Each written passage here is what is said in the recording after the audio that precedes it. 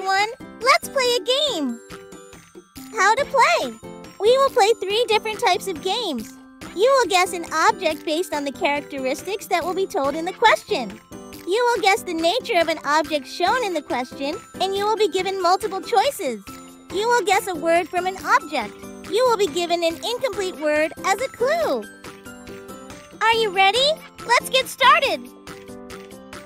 Question no one. Which of these animals is covered in scales and breathes underwater?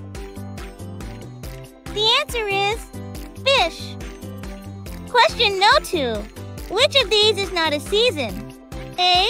Winter B is summer C. Monday D. Autumn. The answer is Monday. Question no three. Guess the word FX. The answer is guess the word FOX box. Thank you for playing.